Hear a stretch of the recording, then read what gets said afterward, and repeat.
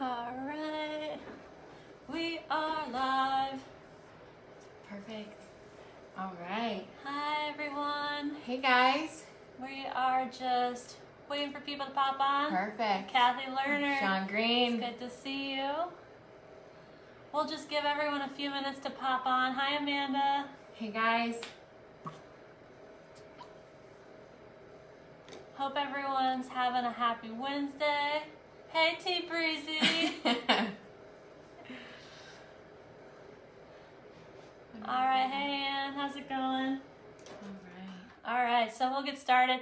So, hey everyone, my name is Raechel Kewen. I am our um, sales manager, and so I'm here at Penns Woods Winery, and I am here with Lexa Ellis, Hey, our guys. fearless tasting room manager, and we're going to talk to you all about Sauvignon Blanc, which we're super pumped about. Um, but before we get started, we just have a couple of announcements, and we'll chat about it a little bit more at the Yeah. end. But if you want to tell everyone about our cupcake and wine pairing, yes, so we're super excited. We're bringing back the cupcakes and wine. We're very bummed that we had to cancel so many dates in March, but we found a way. So we are still pairing with Dia Dulce and we are bringing it back. It's going to be the same pairing, but it's going to be four cupcakes. And we're excited. We're super excited. And also on Friday, um, we are doing a live virtual happy hour with Goat Rodeo Farm and Dairy in Pittsburgh.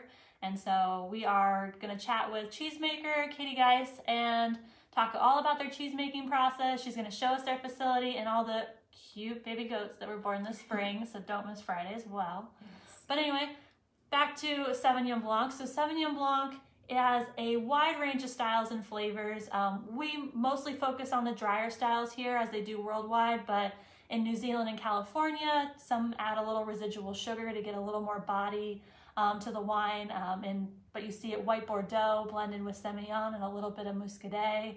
Uh, it's very, very famous dessert wine, Sauternes, beautiful, elegant dessert wine. It can be barrel aged as well, but again, like mostly looking for that super bright, zesty Sauvignon Blanc with a lot of citrusy flavors that we love. And it's actually a really cool kind of entry level wine because it is has such a co- close correlation to the perceived flavors and a lot of mm-hmm. flavors that we're really familiar with, like grapefruit, lemon, some grassy notes in there. That it's really kind of fun if you're a newer wine drinker. You're like you can pick it out, you can smell it, you can taste it, and kind of gets you a little more excited about wine. You're like, oh yeah, I feel all that instead of like you know some weird like tobacco and bramble, and you're like, what the hell is even that? So you know, it's it's a little more familiar flavors, which like again keeps you a little more excited about the wine. Um, just a little bit of background on Sauv Blanc. It's called in French. It means the wild white, and actually here at the tasting room, our general manager calls it savage. So she is True a story.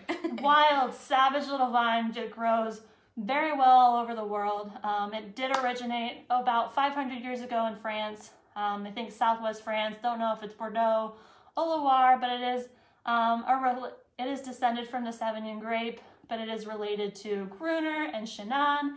And like we talked about last week, Cabernet Franc plus Sauvignon Blanc equals Cabernet Sauvignon, one of the most beautiful and popular varietals in the world. So Sauvignon Blanc is definitely a very, very important grape in the wine world. Um, a little bit about it in our vineyard. We first planted these grapes in 2012 um, when we made our first fully estate grown vintage in 2016. But like I said, it adapts pretty readily to all environments, but it thrives in really cool, sunny climates. And we do use European clones with that have a short vegetated cycle, so it's kind of a little bit better suited to our cooler climate as well.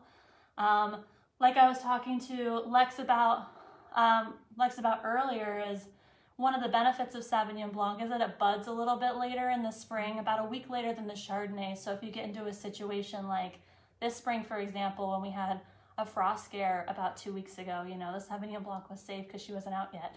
So again, another great reason Yeah. that we love it having it here in a cooler climate.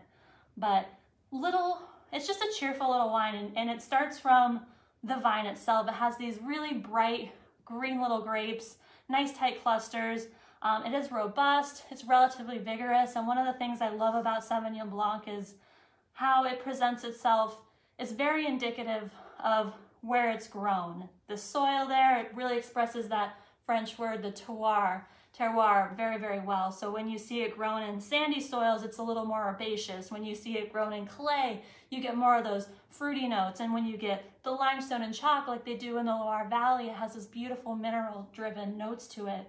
And our Sauvignon Blanc is kind of like the best of both worlds because our vineyard out here in Chadds Ford, lots of clay and very, very iron rich. So we get some of those really beautiful, juicy, ripe tropical flavors, but with that hint of underlying minerality from that iron rich soil, and it makes for a very, very lovely wine. Um, but the profile in general, again, kind of depends on the climate, the soil, the viticultural techniques.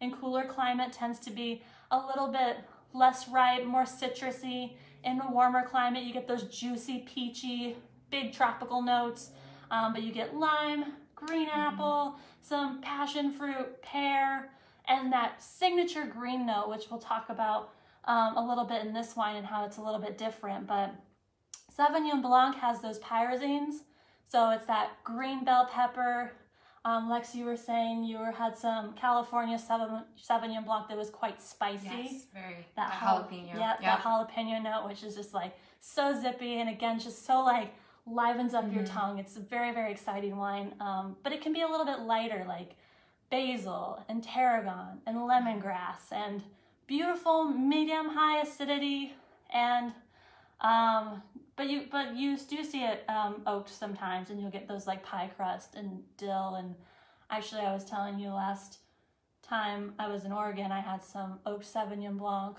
which was very interesting. But I kind of prefer to see it exhibit more of the bright, mm-hmm. fruitier characteristics, which it's known for, and kind of if you love like Gruner or Albarino or Chenin Blanc, Sauvignon Blanc is definitely your lady. Yeah.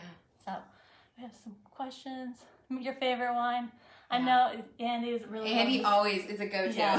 for her. The Sauvignon Blanc. It's mine as well for white wine. More of a red, but that Sauvignon Blanc, especially now during this weather, perfect. It's so refreshing, and yeah. this vintage in general, um, we at Penns Woods we made our very first vintage of Sauvignon Blanc in 2009. Made an 11, a 13, a 14, but our very first, like I said before, fully estate grown vintage was in 2016. And today we are trying our 2019 Sauvignon Blanc. Excellent vintage. Yeah. All the whites popping out of 2019 are fantastic. We're super excited. We, we were just talking. oh yeah, we were just talking about the Viognier 2019. We'll be releasing mm-hmm. here soon. So so aromatic and so mm-hmm. much flavor. You're saying you could smell it like across the room. it's just beautiful, and all these, like I said, these 2019 whites are popping. Mm-hmm. Um, very long hot summer, almost drought conditions midsummer, nice dry harvest. Um, we actually harvested this one the 8th, of, the 8th of September. We made about 400 cases. This is 12 and a half ABV. Um, we did a, a little bit of a warm, uh, cooler fermentation uh, between 14 and 15 degrees Celsius. It kind of lets it um, kind of develop some of more of those fruity notes in there. Um, and I think it's a little bit more like I don't know, I was telling you, I think it's kind of like Loire Valley meets mm-hmm. South Africa, which is the old world meets new world, which really embodies like the spirit of what we do mm-hmm. here at Penns Woods is old world technique in the winery, in the vineyard, but with, you know, Pennsylvania new world soil and yeah. new world climate. And that's really exactly what this wine is. A lot of like fresh citrusy notes, um, but some of those really great tropical flavors and that underlying minerality. It's a nice straw color too. Mm-hmm. But we were saying there's no residual sugar in this, but there's some in California, and New Zealand. Sometimes mm-hmm. there's like a gram or two to add to the to the texture of it. Yeah, but this one, again, you said we talked about that grass. You know, it's a little bit lighter in ours, more of like a lemongrass. Yeah. You get some elderflower, but it's mainly like like you said, underripe pineapple, mm-hmm. lots of guava. Yeah. Very, very very, very aromatic, tons of great florals, some jasmine.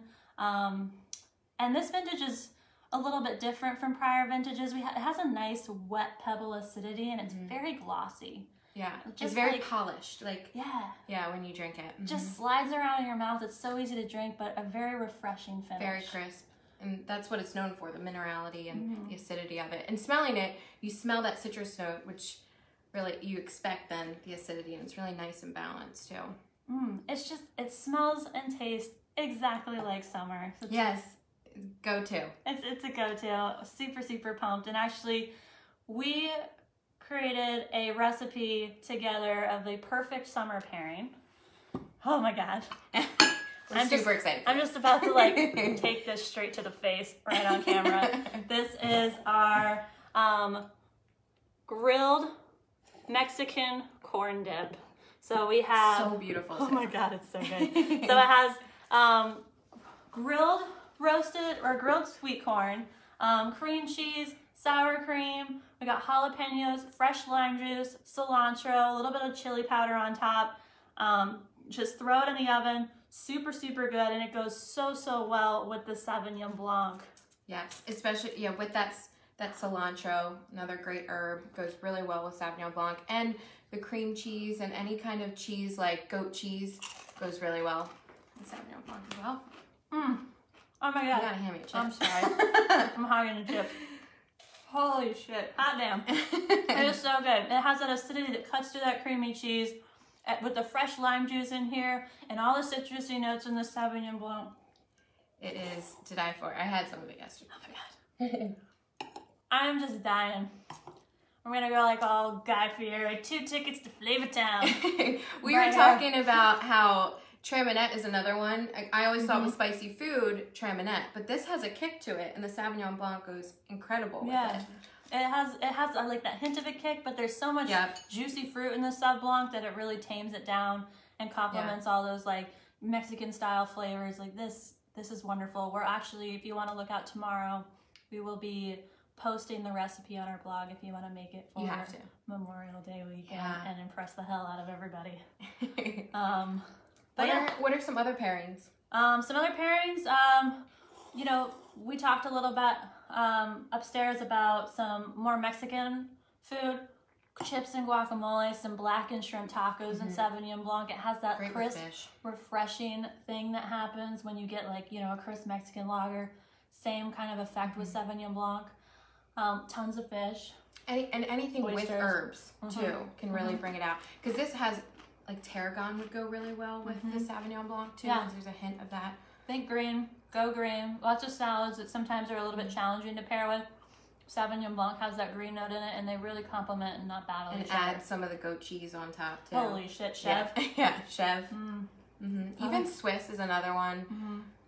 that Yep. pairs well with it. Yep. So you know, but you can do chicken, pork, um, turkey, but again, a lot of seafood, um, halibut, snapper. I mean, really, it, one of the most fabulous pairing wines is Sauvignon Blanc, and so there's just a lot of options. But It's great just great. It's it's so fruit forward, but then you compare it, Mhm. it- because it's so herba- Yeah. herbaceous. It's really great. It's great to drink by itself, but yep, that's pretty much it about Sauvignon Blanc. It's crisp, it's fresh, it's elegant, it's light on its feet, which is exactly what you want for the summertime.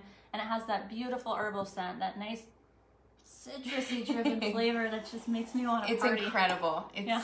it's perfect. And I was seeing someone said that it's your replacement for Gruner, which exactly right because we used to have some Gruner. Yeah. It's no longer, but this is a perfect replacement for it. Yep. So you, know you like light, bright, zesty whites. Sauvignon Blanc's your girl.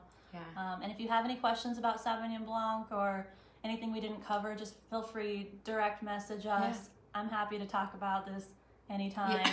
All the time. all the time. um, and again, we'll be posting this recipe tomorrow. Just for anyone who's jumped in a little bit later, just want to remind you on Friday we are doing a live virtual happy hour with Goat Rodeo Farm and Dairy in Pittsburgh, showing us all about their cheese making techniques. Again, fabulous goat cheese. Really pairs well with this wine Mm. um, and uh, cute, cute baby goats that were all born on the farm this spring. And then, Lex, if you want to go a little more into detail about our virtual cupcake and wine. pairing. Yeah, we're gonna do two weekends of it because it's this. so. Yeah, please dig in because it's so popular. Um, we're gonna do May 30th and June 6th, but definitely get like the tickets now. You can just order online um, Well, and set up a time to pick it We're, up. al- we're almost sold out for May. We we are, yeah, very, Very close. close.